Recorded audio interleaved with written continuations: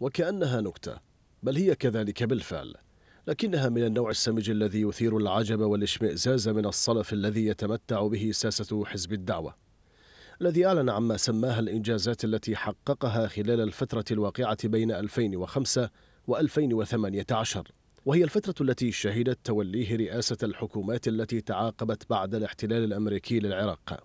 القيادي في حزب الدعوة وليد الحلي ولا ندري إن كان يستخف بعقولنا نحن العراقيين أم أن أحد مستشاريه استخف بعقله وأغواه ليقول ما قال حين أكد أن حزبه وخلال ثلاثة عشر عاما قدم إنجازات وصفها بالتاريخية.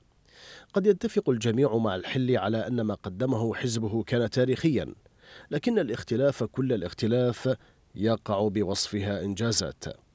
فالفترة التي استحوذ فيها الحزب على السلطة كانت أكثر الفترات ظلامية ودموية في تاريخ العراق الحديث.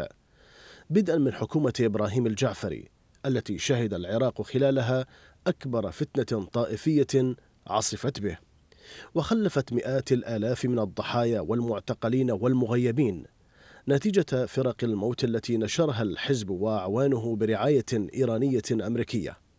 ليجيء الدور على حكومة نور المالكي التي كرست الأوضاع المزرية وعاش معها العراقيون سنوات عجاف انتهت بدمار شبه كامل لمحافظات بأكملها بسبب السياسات الكارثية التي انتهجها المالكي وما أن جاءت حكومة حيدر العبادي حتى اكتشف العراقيون حجم الفساد المهول الذي تسبب به حزب الدعوة وشركائه يتبجح الحزب المعروف بتبعيته لإيران بأنه حافظ على سيادة العراق ووحدته وليت شعري عن أي وحدة يتحدث وأي سيادة يقصد.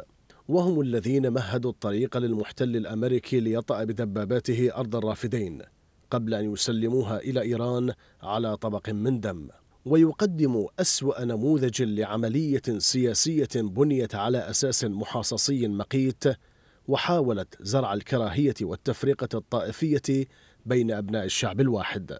العراق الذي كان مضربا للمثل في الاستقرار تحول تحت قيادة حزب الدعوة إلى كتلة ملتهبة تعصف به الكوارث كل يوم ليفقد دوره الريادي في المنطقة لمصلحة العدو المتربص في الحدود الشرقية.